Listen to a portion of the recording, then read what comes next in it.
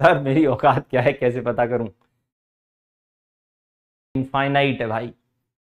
ठीक है। ओके अगर आपको अपनी वैल्यू जाननी है, ठीक तो आप अपने मम्मी पापा से पूछो।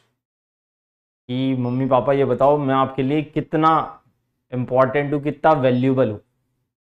तो बोलेंगे, भाई, मेरी जान से भी ज़्यादा इम्पोर्टेंट है तुम्हारे ठीक है।